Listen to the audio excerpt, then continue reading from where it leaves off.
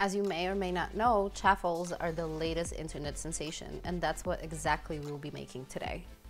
For our recipe, we need eggs, almond flour, mozzarella cheese, avocado, bacon, tomato, butter, and our BeKeto collagen. First, we need to crack an egg,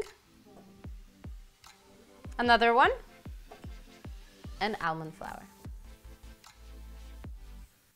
Next, we need to grate some mozzarella cheese. You can also use cheddar if you like. Now let's mix it. Make sure that it's uniform in consistency. Mix it thoroughly as much as you can. As a final step, we're going to add a scoop of our BeKeto collagen.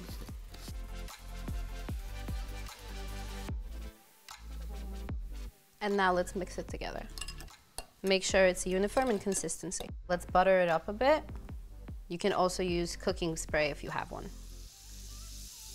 Now transfer your mixture. Perfect, now we close it and wait about four to five minutes. Okay, five minutes passed. Now let's open it. It looks wonderful. Transfer it to a plate and take care of our other ingredients. Bacon, avocado, and tomato. Let's assemble our ingredients now. Avocado. Now let's take our bacon. Okay, last but not least, let's add some tomatoes. And we're done. That's all.